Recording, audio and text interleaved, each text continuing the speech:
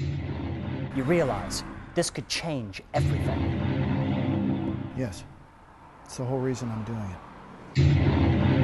Gentlemen, I'm pleased to say the board has given its full support.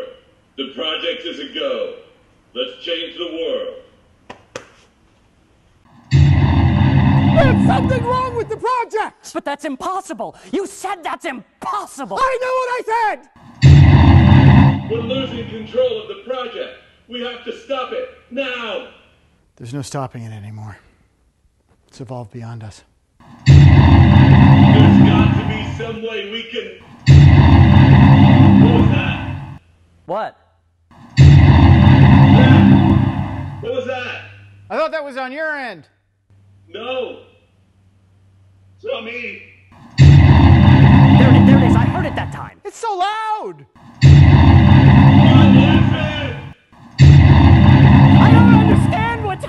Why is it so loud?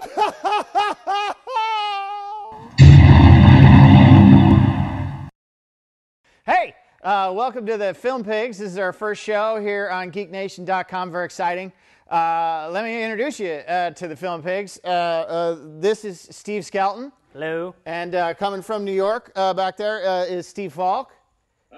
Yeah, you guys all want popcorn? Steve, you want popcorn? Oh yeah, thanks, Scout. All right.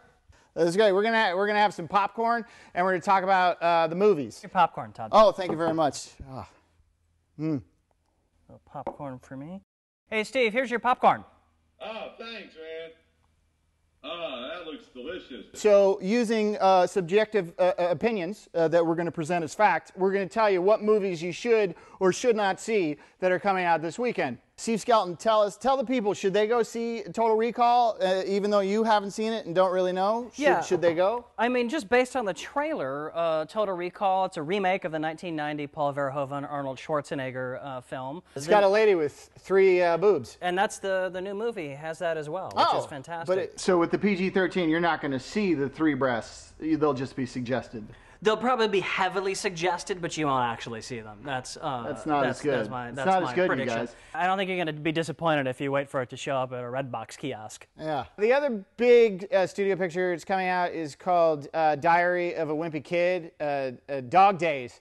Steve Falk, tell us, sh- should the people go see that? Well, I was very excited to get this assignment from you, Todd. Um, uh, sorry, I'm lying. I've never heard of this thing. Um, but I did some research, and Diary of a Wimpy Kid, colon, Dog Days, is a sequel to a 2010 movie about a wimpy kid. Uh, it's based on a very popular graphic novel series aimed at children. And, uh, and the trailer's live action, so the movie, movie has children in it. Um, and uh, I gotta say, it doesn't look terrible. It looks kind of cute. If you're like seven, I don't know anyone in it except for this chick from a bunch of sitcoms and Steve Zahn, who used to be awesome, but now he's in Diary of a Wimpy Kid, colon, Dog Days. Back to you, Todd. Thanks. Thanks so much, Steve. That was very helpful. So if you're seven, why not go see Diary of a Wimpy Kid, Dog Days, the third Diary, uh, third one? Is that what you said? I, I think it's the second, but my research was spotty, Todd. Yeah, It's spotty because I'm pretty sure it's the third. You screwed the pooch on your research there, buddy. Enjoy the popcorn, though. Um, those are the big uh, studio releases. If you don't want to see either of those, you could go to the art house, see limited release stuff. You know, you could, I don't know, you could go see the Babymakers, which is made by those Broken Lizard guys. They did uh, Super Troopers and uh, Beerfest. I auditioned for it, and they didn't hire me. That doesn't mean it's a bad movie. You could go. I'm not going to go. That uh, brings us to our next segment, which uh, actually, you know, as you learned just now, I, I'm uh, uh, an, actor. So uh, why not a, a lesson in acting? Um, me? Thank you, Todd. I uh, have always dreamed, ever since I was a child, of being someone who gets paid to simply talk about movies. Uh, but that didn't work out for me, so I was forced to become an actor. Uh, if you are in the same boat, I, I can actually help you. And I'm here uh, to uh, give a little lesson about acting, uh, specifically the importance of yelling in acting. I, I will now demonstrate. Uh, my scene partner, Steve uh, Skelton, is here to work with me. We're going to use a scene from the Tony Scott classic Crimson Tide um, to really show you the difference between yelling acting and non yelling acting. We're going to start the scene without yelling. You ready, Steve? I'm ready. Okay, take it away.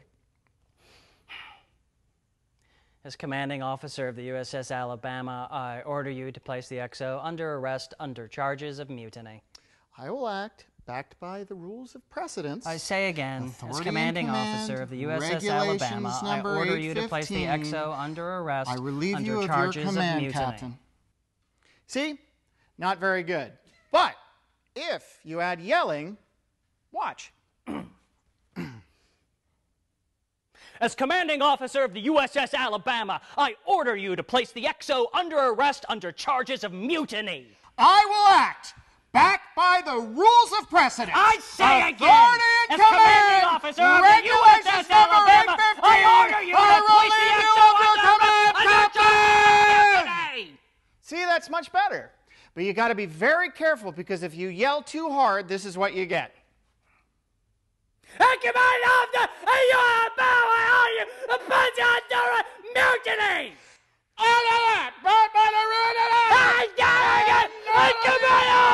Order you to place the. I I command of the XO under mutiny. Too much, you see? Thank you, Steve, very much. One of the hardest types of acting is phone acting, pretending you're talking on the phone when there's really no one on the other end. Yelling can help you quite a bit here. Now, masterful phone actor Steve Falk is going to demonstrate this with Mr. Skelton. Watch first without yelling. Fuck you and your two million. Don't you understand English, you useless piece of shit? No money, none. Fuck you, I'll fucking kill him right now. You kill him, you kill yourself, you motherfucker. Now give me back my son. Now let's look at the same scene again, but with yelling.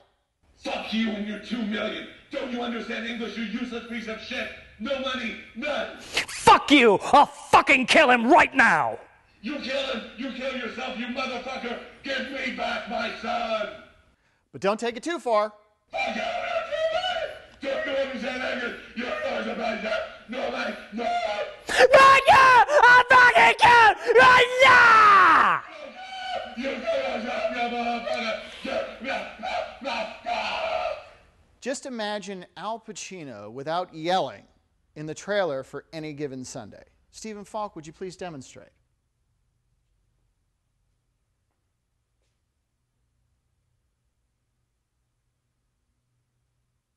Very good. And now with yelling, please.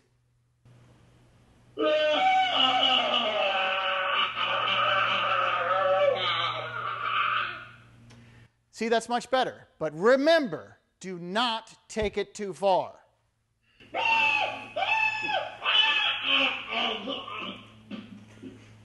There you have it. The importance of yelling in acting. Back to you, Todd. All right, thanks, me. Uh, did you guys learn from that acting lesson? Was it? That was Yeah, amazing. it was really, I mean, it was. Yeah. What we do is we have these sort of knee-jerk reactions to the movies we see. Normal critics, you see, they see the movies and then they think about them really hard and they're very thoughtful and they try to figure out what went wrong and what went right. No. We don't do that. We just uh, complain. So uh, we're gonna look at Steve. Uh, what was the movie you saw, Steve Falk? Uh, I saw a movie called Ruby Sparks. He saw a movie called Ruby Sparks. Let's look at uh, Steve's knee-jerk reaction to the movie Ruby Sparks that he recorded on his phone.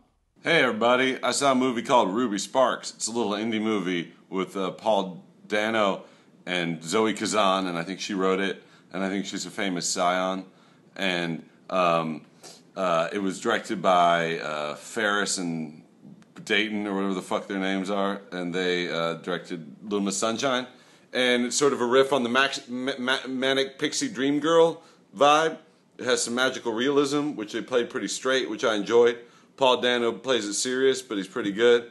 Um, and Zoe, Zoe Kazan, you got to like her charm. You got to kind of dig her. And she's all right, you know. I don't really have a problem with her. Um, the movie's charming. Um, and uh, it was funny and didn't take itself too seriously, and it kind of bought into the wacky premise about a writer who makes a girl up by mistake because he's lonely, and he used to be famous, and uh, uh, I give it, uh, I don't know, go see it. Let's just end with one segment uh, that uh, I, I always enjoy doing. Um, we've done it in our podcasts in the past. Um, it's called uh, "Hey Pigs, how you doing?" It's just a chance for you guys to really get to know the pigs. Hey Steve Falk, how you doing? I live in front of a brick wall, Todd. Great. Hey Steve Skelton, how you doing? I'm a little warm under the lights right now, but feeling pretty good about Yeah, it. yeah, yeah, your head's a little shiny, It's but just a I little, don't know yeah. if the cameras will necessarily No, pick no, that up. no one will notice. And um, for myself, th- thanks for asking, you guys. How are you doing, Todd? Other than the Babymakers snub, I'm fine. I'm fine. It'd have been nice to be in the Babymakers. All right, that's it for the pigs. We'll see you next time. Bye. Bye.